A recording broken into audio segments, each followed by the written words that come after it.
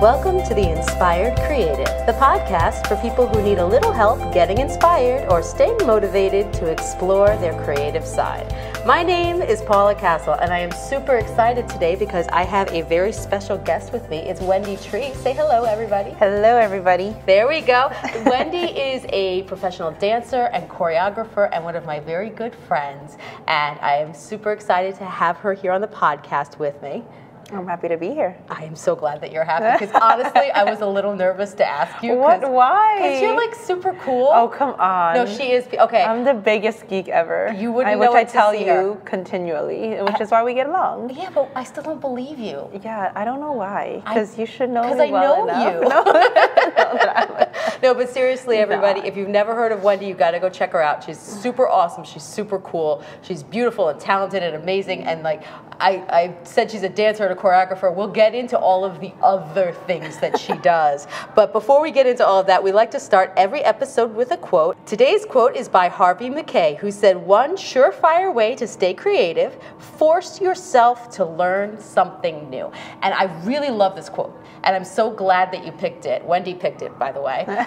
Uh, we were talking about topics and we were going through ideas, and she's like, I want to talk about learning new things because I think a lot of times as creative people, um, we forget that learning is part of the process. And we never really get to stop learning because as soon as we stop learning, um, we have limited ourselves and boxed in what we're capable of doing. So let's start with just the basics of learning. And guys, forgive us. We know there's a lot of extra sound happening. We're not in our usual spot for recording today, so forgive us for the little noises in the background. It should die down over time. Um, but we didn't want to miss our window to record, so we apologize. But let's talk about uh, your dance experience. When did you start to dance? How old were you? What did you start with? Where did you go? Walk us through step by step all of the dance that you do and, and how long you've been learning. okay, so step by step. I started when I was, I want to say around 10, 11 ish. But, and the only reason why I started was because my sister was dancing, and my sister was like a role model to me. So, whatever she did, I wanted to do. Right. Whatever she said, I believed in. I was so gullible, you know, I'm still kind of. but, you know, whatever my sister was doing, I wanted to do as well. Um, so around 10 I, I remember my first class and i went for like a semester it was once a week one of those kind of like you know kids classes I think it was jazz, um, but it was nothing serious at all. It was a cute little thing, and then I stopped for a couple of years, and then I started back. I think when I was 13, at a different place. So where I grew up, they had these kind of like a youth center where they would offer different classes. Um, so there was vocal classes, there were dance classes, there were um, drama classes, stuff like that, and you know, little cute little cafe because it was in the suburbs. Um, so I started going there once a week again because my sister was going there. So I said, that's cool. I want to go too. And so I started going, taking class once a week. Now, there it was hip hop. And so I started taking once a week, but I the more I did it, the more I loved it. Mm. And so me and then a few of my friends there, we were like, you know, these little ignorant kids. We're like, let's start a dance crew because we're the coolest kids, which I really wasn't. I was like a quiet little mouse that would be in the corner, Uh-huh. always forgotten about. Like nobody knew that I existed. Like I was like I that. so oh hard my to gosh, people. because you're like if you ask, as Toonie, watch, watch her tell me, confirm what I say. I was literally, I would talk like this because I was really scared. Oh my. God. Yeah, and you know, everybody was like, Wendy, who? Wendy? Oh, is Wendy here? I don't know. Oh, maybe she's. And now, you know, it was just. I was the one that you would kind of like search out to like finish your homework. Okay, I was the one who would finish homework, and I am. I don't. I don't understand this because seriously, you're like a, you have like a spotlight on Oh, you no. everywhere you go, and I don't know how you blossomed into who you are, but I'm super jealous. But anyway, it was God. You- that's that's really what it was. Amen. but um, yeah, so we started this dance crew, and then so we started having our own practices outside of that once a week class with the mm-hmm. teacher that we had. The teacher was great. She taught us hip hop, so she would teach us different foundational styles within hip hop. Mm-hmm. And then eventually we started dancing more and more. We started performing with our little crew, and we thought we were, you know, the best thing ever on planet Earth but it was good because like we were young kids you know young teenagers 14 15 and we would go do these performances and they would pay us a lot of money. So we would go and buy new outfits for the dance performances. We would go and have dinners together. So you know it, it created a really fun environment to dance in Right. and to develop as a dancer. Now there wasn't really much growth in a sense of like wow now i'm training like professionally not at all it was like a fun little thing Yeah. but um because you were still a kid. Exactly. But we started getting a lot of performances and a lot of job offers. And then we went on tour with this like huge dance company because they wanted us on board on their tour. And so, it, you know, we just got a lot of offers, which is what blew our egos up so much. Right. Of course. Um, but it really was a hobby because I still had to be in school and study. Uh-huh. And you know, since I'm Chinese, it's like my parents were like, um, "You're, going to be an study. engineer." Yes. You know, if Or a I doctor. exactly lawyer. You know, choose from any of the above. Software engineer, computer science. I don't know. You pick and choose. But dancer, no way. But eventually, so after I graduated, graduated high school, I really wanted to dance. And a friend of mine was dancing here in New York, and I had come to visit him and her, it was two of them, and I fell in love. I said, you know what, I want to do this. And growing up, I never thought pursuing dance would be an, a possibility. I just never thought it was uh, possible because obviously what I grew up in was like, if it's not a nine to five, super high end office job, then Right. there's no way for you to make a living, and it's it's mm-hmm. hopeless. And so I never really wanted to pursue it because I just didn't think that it would ever end up well. But then when I came here to visit, I just I thought it looked like so much fun. And I always loved traveling. I've always loved it, and it's you know I blame my parents. I was like, I blame my parents because we would travel a lot growing up, and so Right. because of them, I grew up traveling, so I love traveling, and so you know, I wanted to go explore after I graduated high school, and so I came here. I, I told my parents, I said, all right, I'll come for six months, and then I'll come back to Sweden to study, like at the university. And that's how they agreed on letting me go. Mm-hmm. Those six months turned into a year. And then the only reason I went back to Sweden was really because I wanted to save up more money to come back to New York and really train. And so when I trained here in New York, it was really mostly ballet, contemporary jazz. So going from only hip hop, mm-hmm. Now I was training really only ballet. I would take a few hip hop classes here and there, mm-hmm. but my main focus was all the classical styles, which is really what you need. If you want to work professionally as a dancer, Right. you need to be versatile, one. And then two, unless you're like super duper crazy, ridiculously talented at that one skill, that that's where you'll get all of your work from, then you, you, you have to learn different styles. You know, because you want to be that dancer that they hire that is able to do this, that, and the 3rd and mm-hmm. then is able to pull that off and pull that off without them having to hire all these extra dancers. Right. And so the more versatile you are, the better it is. Right, because the more you can do, the more they can use you for, and the more valuable you become. Exactly. So, are you still taking classes? Are you still learning? Are you still? Are there styles that you want to explore that maybe you've never explored yet?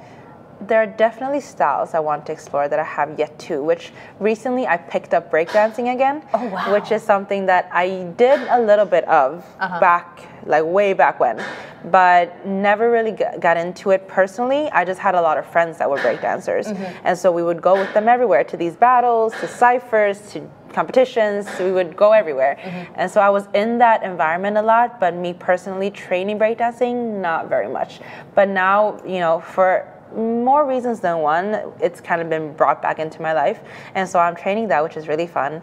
And something that I've always wanted to learn is partnering. So all those like salsa, um, tango, uh, uh, all these partner dances, I've always like, I'm like, oh, that looks like so much fun. But I've never done it, never trained, never took any classes. How do you find? Because you're also a choreographer. I, Yes. I know that you, you, you choreograph for your, your, your group. You choreograph for the church. You you know every time I turn around, you're you're working with somebody doing something. It's kind of amazing. Um, but how do you find inspiration to go out and basically because choreographing dance is making something out of nothing. How does that tie into learning new skills?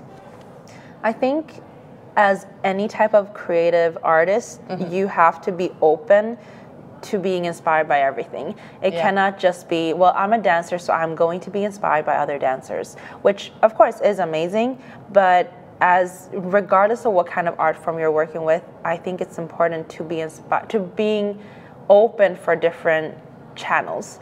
You know that you're inspired by a song, you're inspired by instruments, you're inspired by your environment, Mm-hmm. you're inspired by people that just in general aspire to be something. That for me is always it pushes me because I see people's drive, people's motivation, and that's what pushes me to go harder.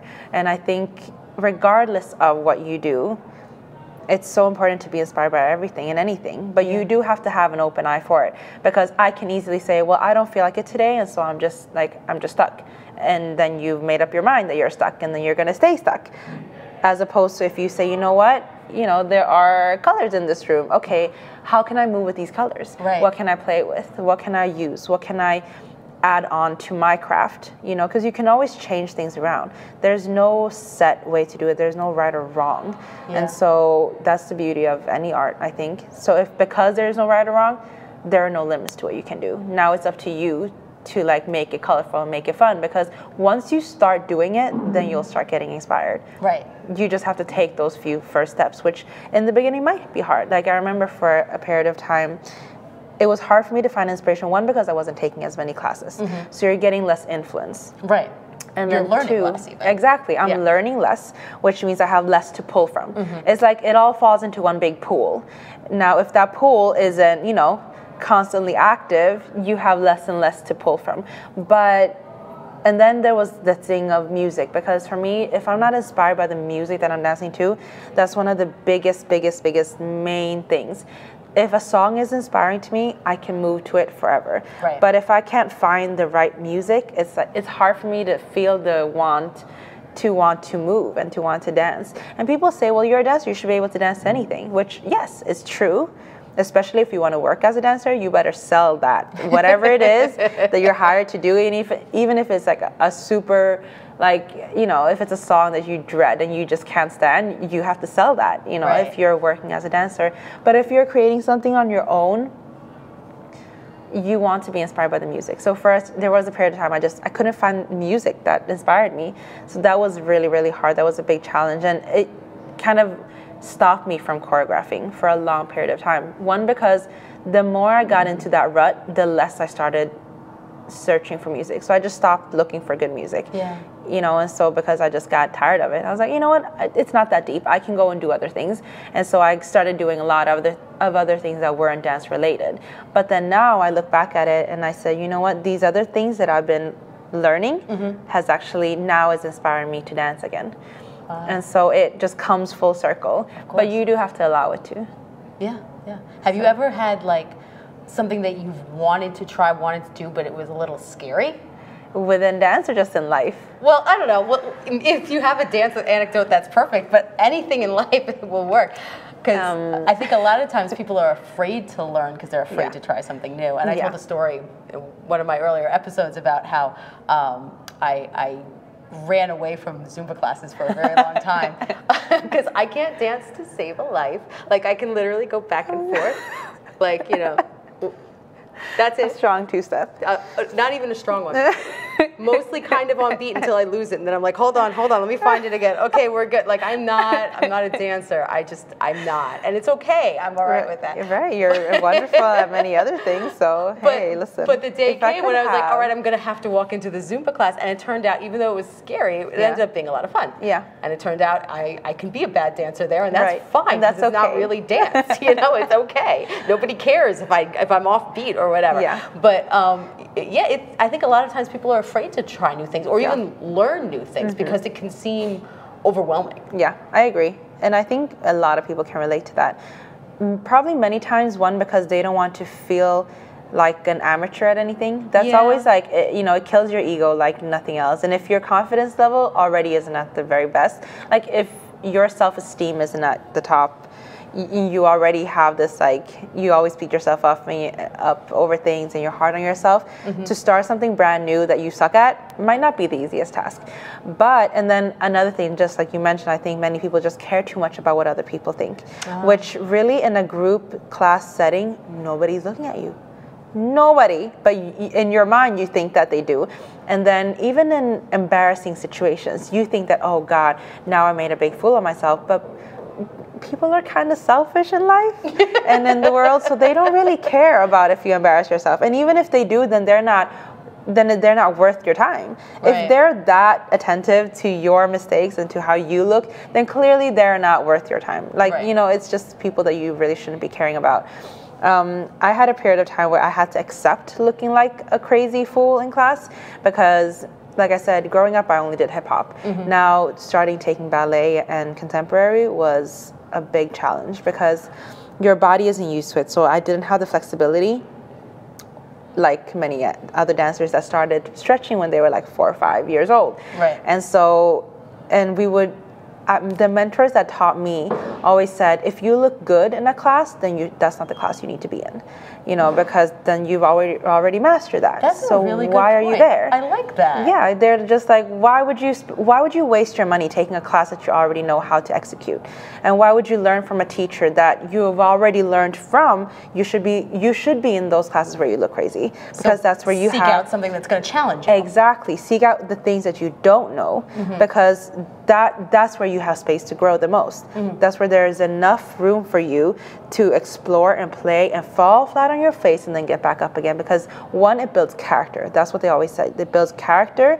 It builds that okay, no, I'm going to push through. I'm going to push through. I'm going to push through because then when you go back to class that you do know, you'll be able to push to the next level and you will be able to raise the bar in a class where you are more familiar Mm-hmm. because you've pushed yourself in a setting where you're not comfortable. Right. And so they say regardless of where you are, you can never stop being a student ever. That's true. Ever, ever, ever, because the moment you do, just like you said, you you'll limit yourself and you'll be boxed in, and then that's it. That's where you'll end up. It, that reminds me of a story that has nothing to do with creativity, but I'm going to tell it anyway. Uh, I remember when I was in um, junior high and high school, right? Um, I went to a, a private school and they had, I started going in sixth grade and I went all the way through uh, the end of high school, and they had separate softball teams. And I always played softball. My dad's really big into baseball, so my brothers played baseball, I played softball. And, you know, we did T ball and whatever when we were kids. And then I got into junior high and I was on the junior high team and I was really good comparatively speaking to the other nine girls that we had there. It was a really small school. I'm not patting myself on the back. I just happened to be one of the kids who knew how to play. You know mm-hmm. that it wasn't impressive right? But i was used to being the best. Yeah. and then i went to ninth grade.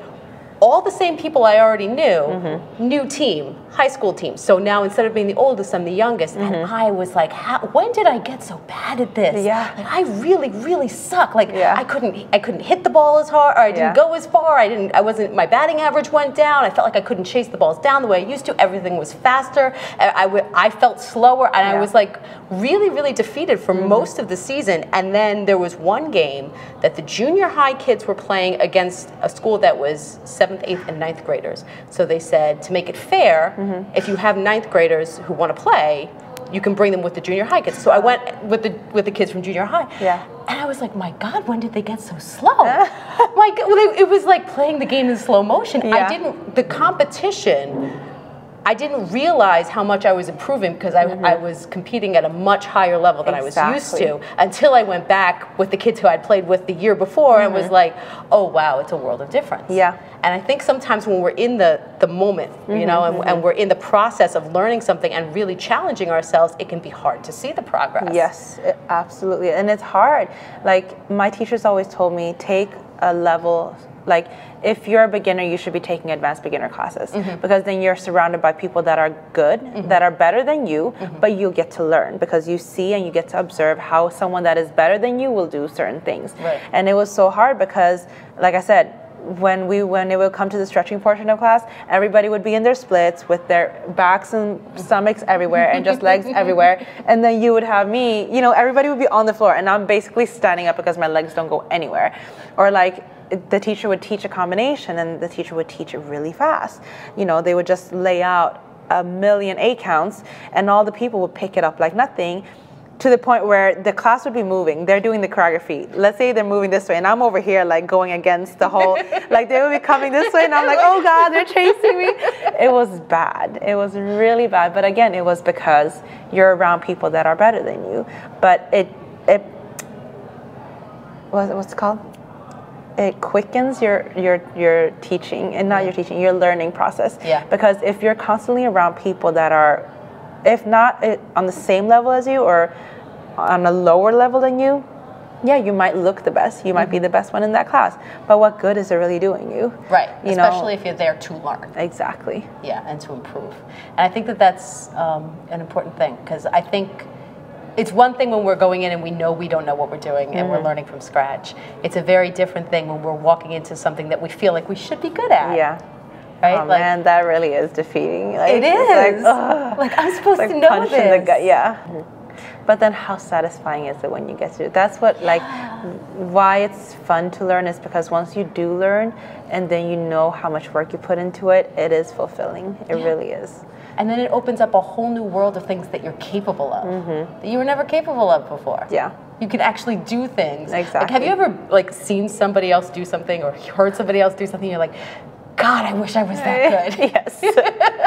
All the time.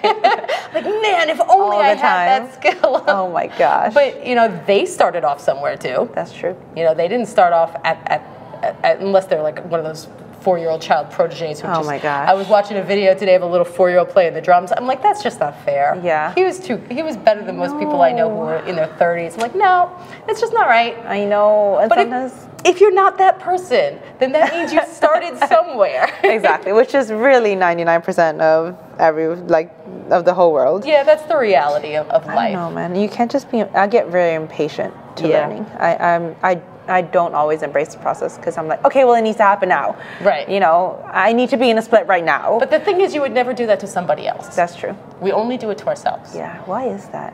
So strange. I don't know. It's not fair though. I know. I don't know. I feel like artists in general are very self-critical. yeah. You know, they're always aiming for what's next, what's next, what's next. Which is a good thing, but not to the point where you're like not embracing the things that you have learned and being able to pat yourself on the back and say, you know what, I did do that. Yeah, I think a part of that is because art comes from such a uh, vulnerable personal place. Yeah. Like if, if it's not coming, it's if you feel like you're doing, it's a part of you. Yeah. You know, whatever it is, whether you're writing or, or you know singing or dancing or even knitting or making a Yeah. quilt. It's like this, this is a piece of me. It's an Yeah. expression of something that's inside of me. So Yeah. it, it's it's hard to look at that and see because we That's always see the flaws, Always. and then we want to like hide the flaws or destroy the flaws or mention them before anybody else can mention them so that we like Right. they know that we know Right. that we suck. It's okay. I know I suck. It's really all right. That's true. We, do, it all the that. time. Yeah, all the time. Or at least I do that all the time. Same here. Okay, Wendy, sorry, we had a little bit of technical difficulty, but we're back. Um, so, if you had one piece of advice, one takeaway that you would want everyone to remember from this whole conversation, what would it be? For me, it would be to keep pushing. Yeah. Keep pushing and never give up. As cliche as it may sound and as corny as it may be, and as common as you hear that expression, but just don't give up. That's really the key, you know, because you do have to push through, and I think it's hard for a reason. I think you get, you just have to push through the insecurities. You have to push through your own thoughts. You have to push through that fear of you know caring about what other people are thinking about you, or saying about you it doesn't matter because you know that at the end of the day you're doing it for a reason and so you have to remember that reason Yeah. and so that's what's really going to keep you going and you have to keep going your breakthrough is around the corner right there it's right there You just got to make it around the corner. yeah Yeah.